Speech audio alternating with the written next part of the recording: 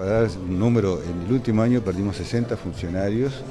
en áreas muy claves, algunas vinculadas a lo que es el propio funcionamiento del seguro de salud, economistas, por ejemplo, porque uno piensa en un ministerio, piensa en médicos, bueno, pero el ministerio tiene veterinarios, tiene químicos farmacéuticos, el papel de, las políticas vinculadas a medicamentos,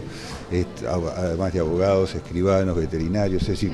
tiene una amplia este, y heterogénea necesidad en materia de profesionales, no necesariamente, reitero, en, un gran número, no queremos engordar el Estado ni queremos engordar al Ministerio, pero sí queremos tener un Ministerio que sea capaz de cumplir las funciones sustantivas. Nosotros hoy eh, en, esta, en estas rendición de cuentas estamos eliminando, por ejemplo, 103 vacantes, este, vamos a, incorporar solamente 58 técnicos y profesionales,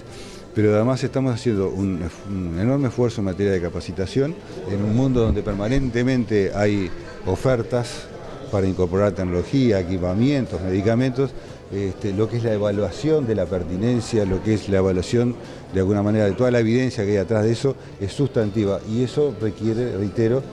de un, ministerio muy profesional, este, con, cuadros técnicos que eh, no se nos fuguen luego de, capacitados, porque lo formamos y obviamente si no lo podemos retener, estamos perdiendo años este, de experticia que se van a otros organismos.